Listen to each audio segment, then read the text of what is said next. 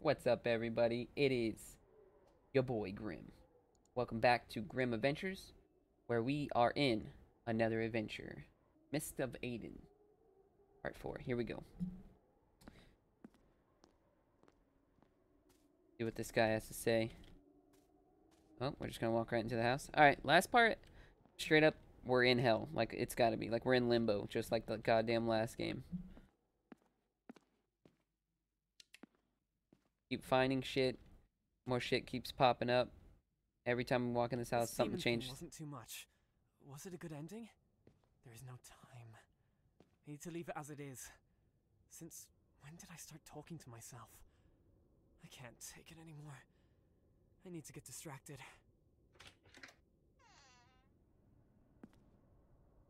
We finished all the weird crystals.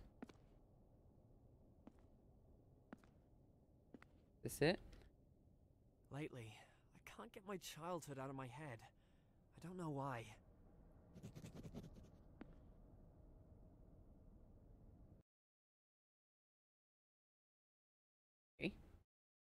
I always knew who I would be when I grew up. My I'm father took care of this. Director of the factory. Very powerful person. He had big plans, and some of them were on me. But first, I had some daily schedule to do. You must wake up at 5, then homework, then school, and in the evening, the real work.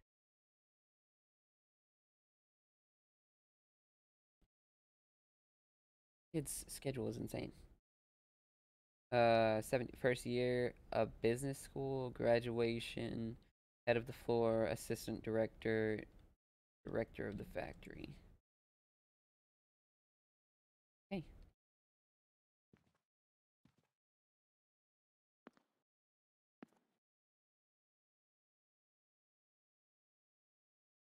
Every day was a preparation for the future. I had goals. At age 14, a junior assistant in the sorting floor. At 15, a senior assistant. Head of the floor at 24. Replacement for my father at 31. There is no time for doubts. I would do everything for him. Every day. I hated it. I had no one to talk to. I had no idea how. Nowhere to go, and because of that, again and again. Oh.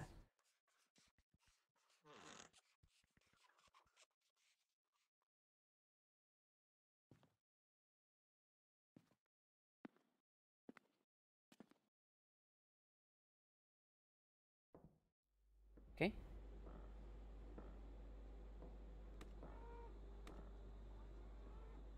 But I found a way out.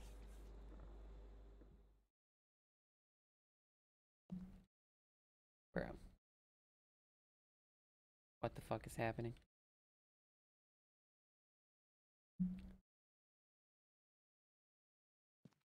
Oh. Oh yeah?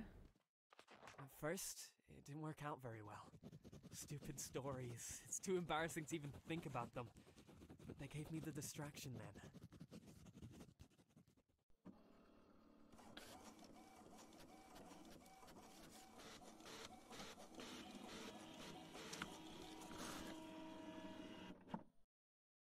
Letter from the publisher. An opportunity to leave. And at 18, on my birthday, I decided to do it. What? My invitation to the world outside the home. Dear Mr. Mist. Oh.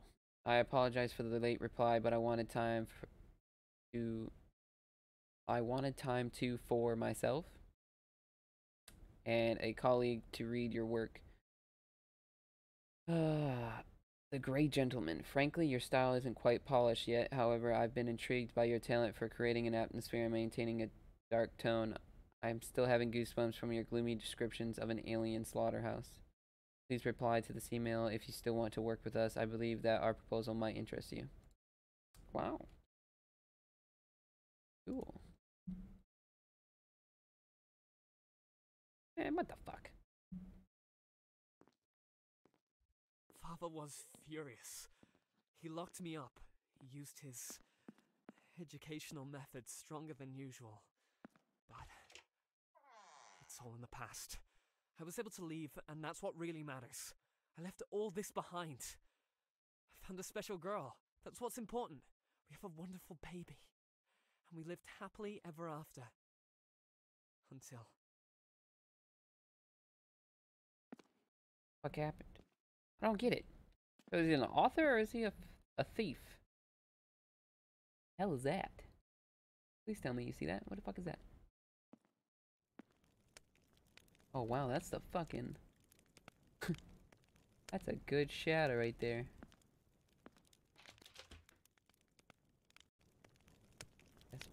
Wow. Okay. Oh. A lot of detail in this house. I like it.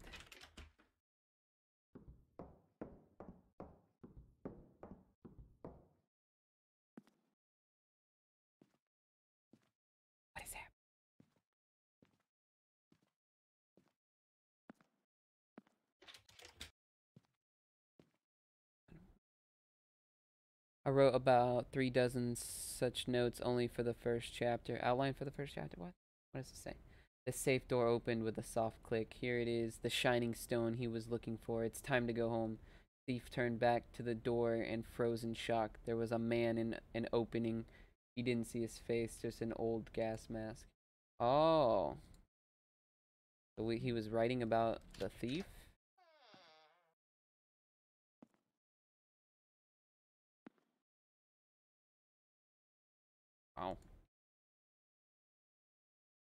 Okay. What the fuck? That's cool. I like that. That's nice.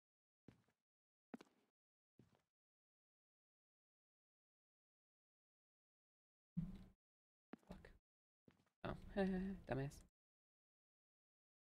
Letter from the doctor. Only after this letter did we realize how serious the problem was. Dear Mr. and Mrs. Mist, I'm sorry to inform you that Oliver's condition is getting worse. Rio I don't know, will facilitate his well-being and increase his quality of life, but it can't eliminate the cause of his heart problems. I highly recommend you give your consent to more radical. I think I said that wrong. Ooh. Uh I was. Uh, consent to more methods of treatment as soon as possible. We prepared a medication regimen which has a chance to restore working of the heart back to normal. I doubt that surgery will be needed, but I have to warn you that it may be a possibility in the future. We will discuss your son's treatment during the next visit. Sincerely, Dr. Matthew Pierce.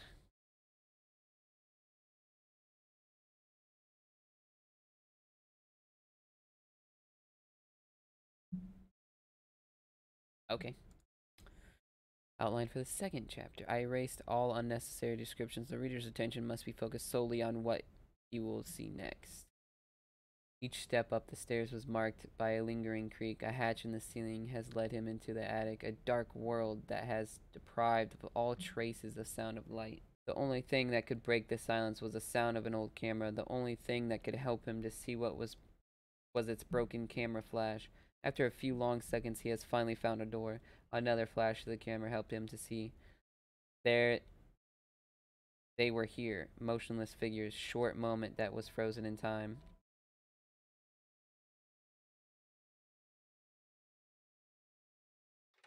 We tried as best we could.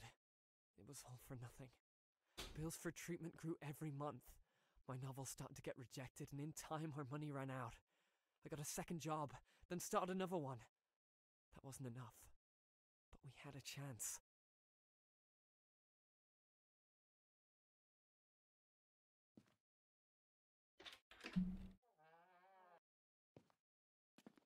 We had kid, medical problems, too much bills,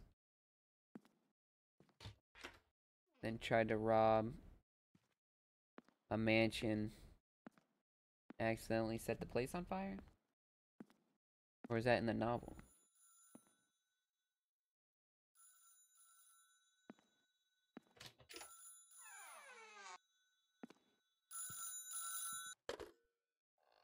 Is he alright? The doctor says that he's stable. Good. Good. Have you taken a nap yet? I didn't have time. The operation just ended. How are you? Work. Uh, the part where the maniac is ready. I will write it in time. Can we get another loan? We are already in debt. They won't give us any more. I just need to finish it and. You can call your father. Nadine, you know we shouldn't do that. I've already spoken to him. He has plans for me, and now he has plans for Oliver. He. he will break him! He is a monster! Aiden, I don't care who he is. I don't care even if he has horns and a tail. We're talking about our son right now. Listen, if he gives us money, then we won't be able to leave him. Never. No, I. I will sell the book, and we will solve everything. Aiden, your last work is still in your desk, along with the previous one.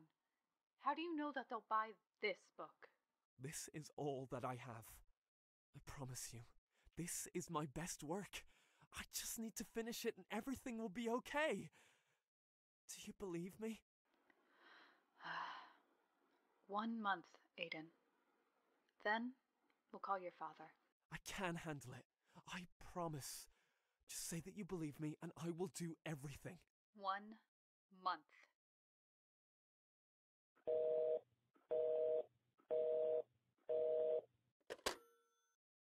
Wow. This went from really scary to really fucked up.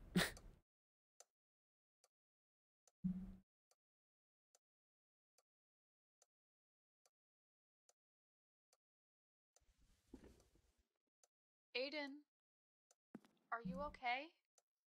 We need to talk. No, no, no. I just need to proofread this thing. A bit more time, maybe a week or.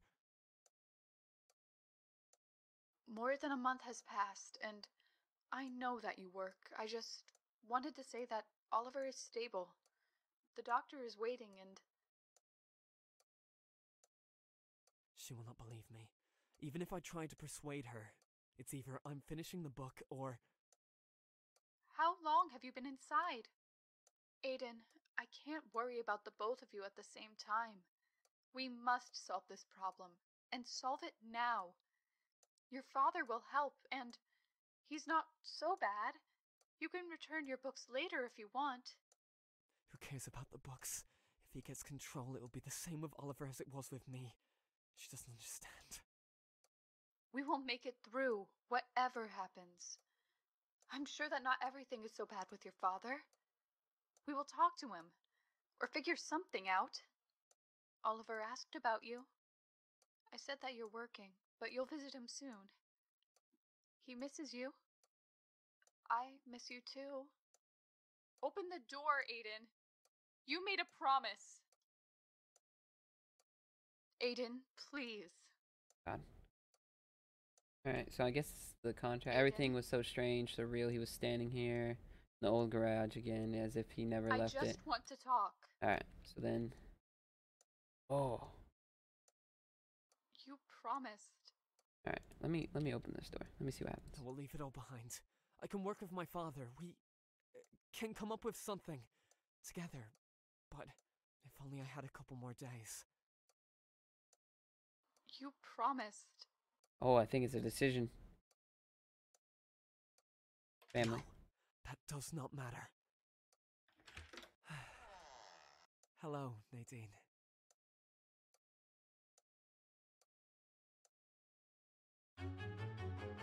Wow. Cool. I don't want to see what would happen if I chose the book, though.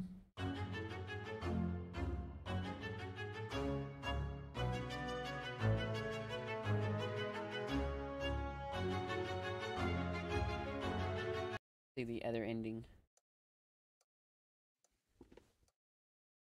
Aiden, are you okay? We need to talk. No, no, no. I just need to proofread this thing. A bit more time. I just need a little more time. The ending is done. I just need to polish it and. Oliver will have his operation. He will be free. Nadine will never understand me. We'll have to break up, but. Is it worth it? I'm sorry. I get it, Aiden. I really do. Finish your book. I hope you'll be okay. Goodbye.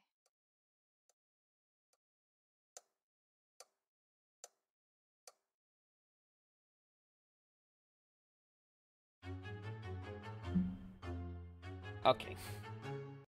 Wow. Alright. Well then. That's crazy. That was kind of insane, not gonna lie. Give the game probably probably like an eight out of ten. Yeah, I'm gonna go with an eight out of ten. Ending was kind of meh, but those first two parts were like really intense. Kind of feels like the ending was rushed. Like that's might might be what they were going for, especially he was like trying to complete the ending. But those first few parts were insane. It was scary as hell. That's why I'm giving it an 8 because it was really scary and like my palms were sweating for a minute. But the ending kind of just didn't end. It was kind of just like a white light. You got re re uh, connected with your family, I guess, but still pretty insane. I liked it a lot. It was good. Really good. Kind of short, but really good. Congrats. good job. uh, on that note, be sure to uh, catch me on Twitch where I stream every Tuesday, Wednesday, and Friday. Check out my Facebook gaming for the latest clips and reels.